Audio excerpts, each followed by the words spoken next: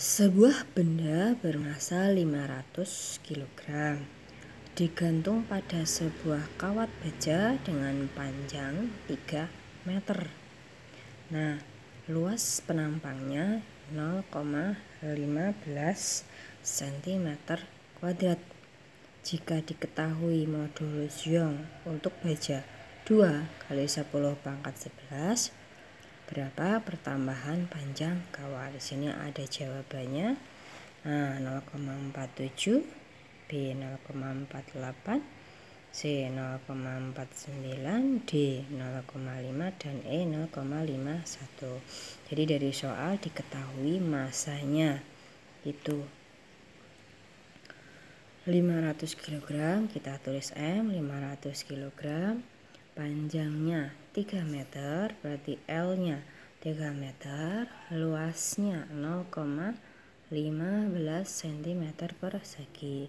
0,15 cm persegi kan kalau 0,15 ditulisnya 15 kali 10 kita ubahkan notasi ilmiah mundur dua kali 1 2 jadi 15 kali 10 pangkat min 2 dari cm dirubah ke meter kuadrat itu kan naiknya dua kali. Satu dua. Naik dua kali tapi persegi jadi setiap naik satu itu bagi 100 naik lagi dibagi 10.000 atau dikali dengan 10 pangkat min 4 jadi luasnya 15 kali 10 pangkat min 6 min 4 ditambah min 2 kan min 6 meter kuadrat itu luasnya. Modulus Yongnya itu 2 kali 10 pangkat 11 2 kali 10 pangkat 11 ditanyakan delta L atau pertambahan panjangnya. Nah, persamaan untuk mencari modulus elastisitas itu kan tegangan per regangan. Tegangan itu kan F per A.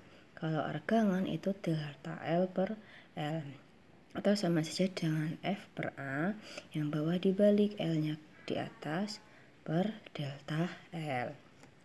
Sehingga modulus elastisitasnya atau modulus Youngnya itu F per A dikali L per delta L. Nah, kita rubah delta supaya delta L-nya sendirian di sini ada tanda sama dengan itu artinya pindah ruas. Kalau di sebelah kanan delta L nya kan di bawah. Tapi kalau pindah ruas itu jadi di atas. Jadi delta L nya di sini sama dengan E nya yang pindah ke bawah. Di ruas kiri dia di atas. Kalau mau pindah ruas itu ke bawah. Jadi F per A L per E E-nya pindah ke sini, delta L-nya pindah ke situ, karan ya. F-nya itu M kali G, atau massa kali gravitasi, hanya tetap L dan E. Masukkan angkanya. Masanya 500 gram, G-nya 10, hanya 15 kali 10 pangkat min 6. L-nya 3, E-nya 2 kali 10 pangkat 11. Kita lihat angkanya. 3 sama 5 sama 15 kan habis. 10 nah ini ada.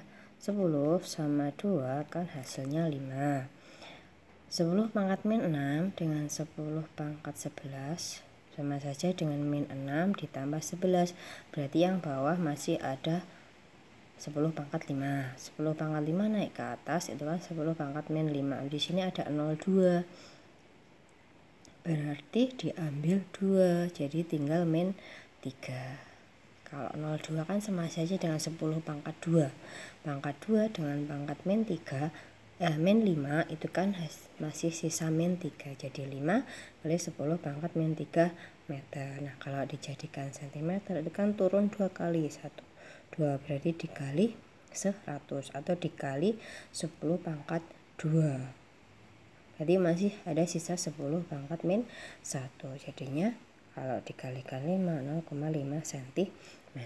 Jadi jawabannya yang D.